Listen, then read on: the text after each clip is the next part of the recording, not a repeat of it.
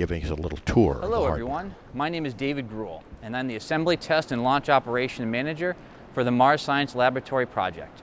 I'm coming to you from a clean room at the Kennedy Space Center, where my team is currently conducting the final functional test of the MSL flight hardware destined for Mars. I'd like to take a moment and introduce you to the flight vehicles that make up the MSL spacecraft, and then introduce you also to the Curiosity rover. Over here, we have our cruise stage.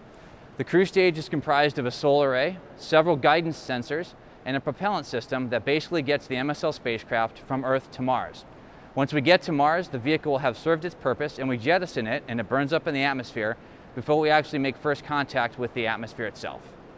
Over here, we have part of the aeroshell that protects the vehicle as we go through the Martian atmosphere. The back shell is the vehicle over here in white, which provides an interface to a large deceleration parachute.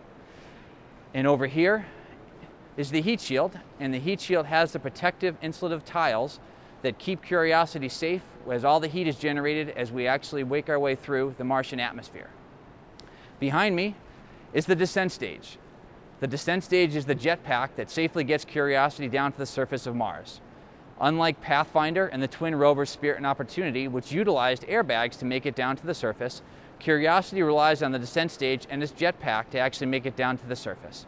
Using retro rockets and a terminal descent radar system, this is what actually carries Curiosity safely down to the surface so that it can actually get its wheels onto the ground and perform its science.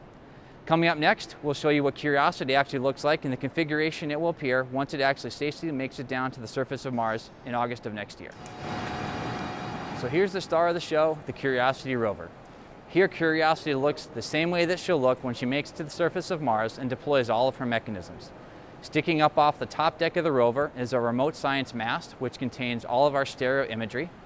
You can also see the six wheels, which will actually propel Curiosity around the surface of Mars, as well as the robotic arm, which is sticking off the front of the vehicle, with the turret, which allows us to do science on rocks that are in the vicinity of the rover and return samples to science instruments that are contained on the body of the rover itself.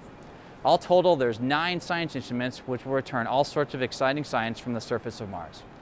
Up next for us, we're ready to start stacking the vehicle, and from there, we're looking forward to a great mission as Curiosity launches and lands on the surface of Mars next year.